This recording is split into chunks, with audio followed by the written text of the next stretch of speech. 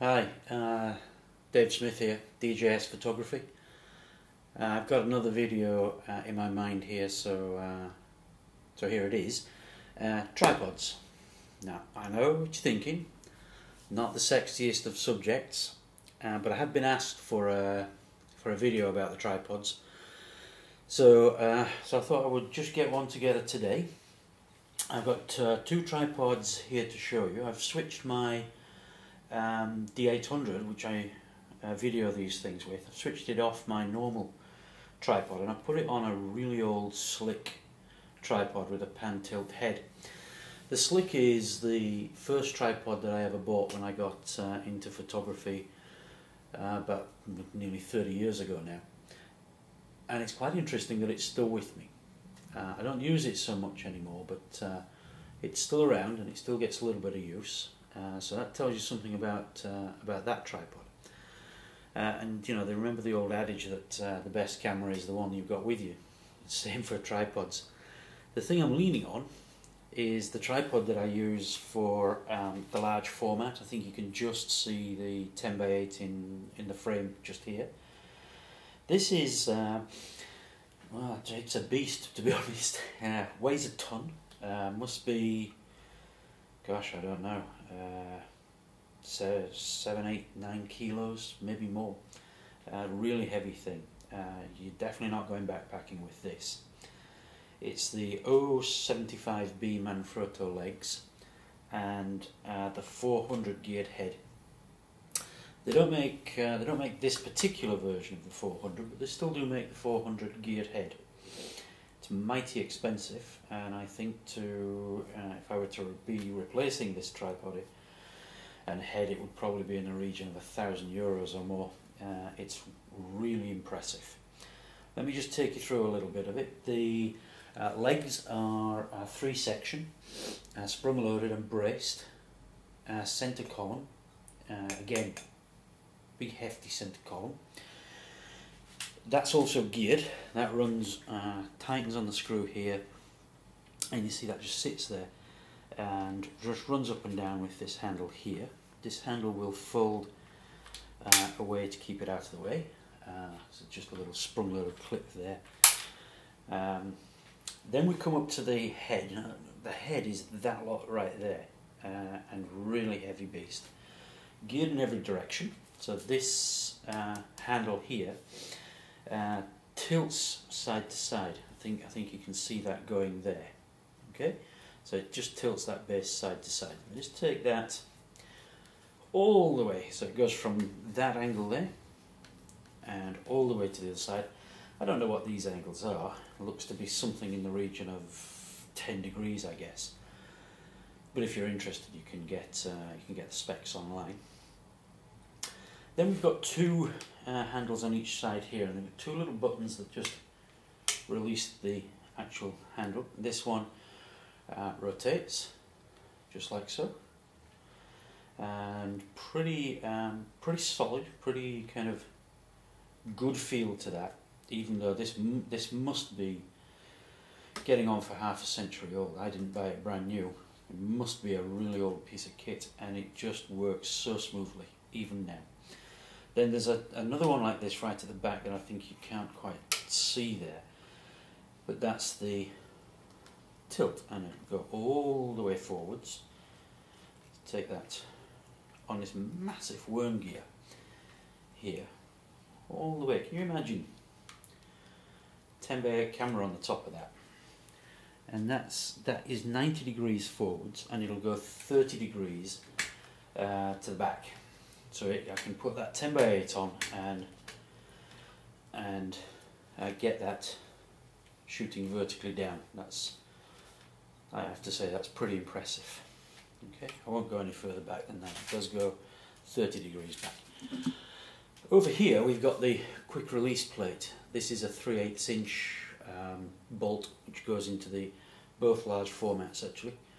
I have a 10 by 8 here and a 14 by 17 over there and this is the high profile version. Uh, on this 10 by 8 here, I think you can just see I've got the low profile version. Now, really I need the high profile on there. These, these get swapped about because um, because they don't. Uh, this doesn't pack well with these uh, with these uh, brackets on, so I take them off uh, when I'm packing it down. And you'll see why in a minute when I put the 10 by 8 on. You'll see why it needs that. So this is the tripod. Uh, bought this uh, soon after the Slik actually. Um, I very quickly decided to get into large format and that was 5x4 at the time. And I bought this to uh, to hold the 5x4 camera which in those days was uh, a Wista. I don't have the Wista anymore. Uh, little, I kind of regret that. It was a beautiful camera. Um, so that's that's when I got this, and I've had it ever since. Uh, doesn't travel well, um, but it's uh, incredibly sturdy. And I sometimes I have been putting the Fuji on here, but I'll mention more about that in a moment. Now you can just see there's a lever sticking out here. If I put this on, there's a groove in here, and that slots underneath there on that side. Sorry, underneath. This is the fixed side over here. Underneath the fixed side, and as I push that down, you'll hear a click, and it pushes a plunger here that releases the spring and closes that. I usually just give that a little push, and that's absolutely kind of rock solid. To take that off, you'd open that lever, but it stops. And there's a little push pin under here that you have to push to release. It just pops off. So let me put the uh, 10 by 8 on there so that you can see and I'm just going to do the same thing. You can hear that clicking, it's dead easy. Now, uh, if I rotate it to this way around, I think you might see why you want the high profile, because as I turn this, right, just that, that starts to catch right there, okay, and if I, okay, and you can see that's going 30 degrees back, but it's just it's not quite catching, but it's not easy to manipulate. I'm going to run that forwards so that you can see the 10 by 8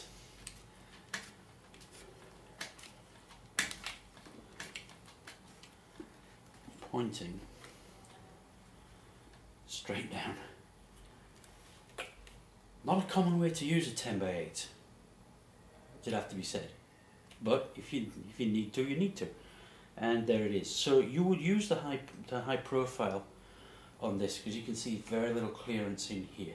Okay, let's bring that back up. We'll just move this tripod out of the way because uh, one of the one of the problems I had with tripods recently was uh, travelling. Uh, I do quite a bit of uh, travelling. I work in uh, I work here in Belgium. Let's move that over there. Uh, but my house is in North Sweden uh, and I travel extensively anyway. So I wanted a tripod for travelling. Excuse me. The Slik would go in my medium-sized suitcase, and I have used that. But it's quite a it's quite a heavy tripod. It's aluminium. Um, it's got a pan tilt head, which I'm not wild about. Uh, and I was looking at other uh, heads. I looked at ball heads and I was looking at the Manfrotto three-way head. I didn't buy the Manfrotto three-way head in the end and I probably could have done, but what what put me off it was uh, uh, the max, maximum load. So in the end, what, what, I I looked at lots of tripods. I was quite interested in the uh, Coleman. I think Coleman do a funny tripod that sort of all the legs kind of fold flat uh, into a, a line with each other and that will sit very flat in your suitcase. But my, my and I was really tempted by it, but my problem with it was I saw it set up in a shop and there's no exaggeration. Put my finger on it and the thing wobbled everywhere. Now it might it might be that they hadn't set it up well or it wasn't locked down as it should have been, but um, kind of put me off really, you know. So I looked some more and uh, I was interested in carbon fibre. I now I have a an aluminium Gitzo, uh, which is actually up in Sweden at the moment, so I can't I can't show you that. Um, but I've had that for quite a number of years as well. So that's quite a, that's a big tripod. Um, I took it up to Sweden to shoot with it before I got uh, this thing here. and it was too it was too big to then kind of bring back at the time, so I just left it there. And this is the result of quite a bit of research. I looked at a lot of tripods. Uh, this is one of the Korean, South Korean models. It's a Pro Gold carbon fibre tripod. It's nice and light. It's uh, four section legs, made in carbon fibre. All the legs have this sort of spongy stuff on to uh, give you an insulation. Centre column, okay, which is smooth. Uh, all the operations on this are nice and smooth. This is uh, a ball head. This is the uh, photo clamp ball head with the Kirk style uh, uh, quick release plate. Uh, and it's actually pretty good. I, I can just just about move that and the pressure setting is at uh,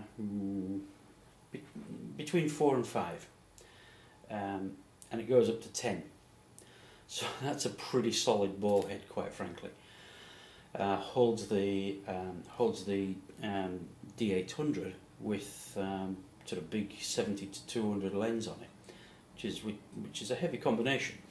Now, I want to travel uh, this summer. I have a I have a trip to uh, northern Norway and across through northern Finland and back down to my house in North Sweden. And uh, what what I wanted to do was to take the Fuji. I have a Fuji GX680 and I have some videos up if you're uh, if you're interested in uh, in that camera system. It is phenomenal and I don't haven't haven't really travelled with the Fuji before because I've uh, I've been concerned about what to put it on. It's it's definitely not a handhold device. Um, but I tested it on this thing and, uh, and and it held it without any trouble at all. So I am actually going to travel with the Fuji and I'm taking this uh, to hold it. Um, and I think this was a, an excellent buy. I don't remember what the price was now, but uh, I want to say for the whole lot, ball head as well, maybe three, 350 euros. Um, and it's really served well. I took this to uh, the Iceland trip and the winds were gale force 8. Um, now I did have to hang on to it in, in those winds, otherwise you know, my camera and tripod would be kind of bouncing across the lava field um, off into the uh, Arctic Ocean. Um, which I'm guessing wouldn't do the camera too much good. But uh, an excellent buy. It it's brilliant for travelling. It will fit easily into uh, my carry-on suitcase. I don't usually do that with it because I'm usually carrying on my camera gear, and this will go in my checked uh, suitcase. But it'll fit in this. It'll fit in the smallest suitcase for uh, carry-on uh, without any trouble. It weighs barely anything I highly recommend it, uh, and it definitely isn't, um, you know, sort of six, seven, eight, nine hundred euros that some of these carbon fibre tripods can be, and the ball head also is uh, is a real bargain, and you can see truly solid as a rock. So that would be uh, my recommendation: photo clamp ball head, Pro Gold tripod from South Korea uh, came in just a few days. The uh, vendors were saying, you know, allow up to two weeks. It was literally four or five days, and the thing was delivered. Uh, really, really good buy. So that's a couple of tripods that I've got uh, here in Belgium. Uh, I might do a supplement to this and just show you the uh, Gitzo, and I think I, I think I will be putting the Manfrotto three-way head onto the Gitzo, so I'll have this for a ball head. Uh, the three-way head I think I'm going to prefer for the Fuji to be honest um, in the end. Uh, but there you go, uh, a little bit on uh, tripods. Um, if you've got any questions, uh, feel free to ask. Uh, drop me a line. Um, would really love to see people um, getting over to the blog and subscribing. I've just worked out how I can put in a subscribe by email link um, and I, and I am planning all kinds of um, developments for the blog and newsletters in the future and e-books. Uh, so I think it might be worth. Um, I think it might be worth subscribing, particularly if you like the videos that I'm making. Anyway, that's my little piece on tripods. Thanks very much for watching. Bye for now.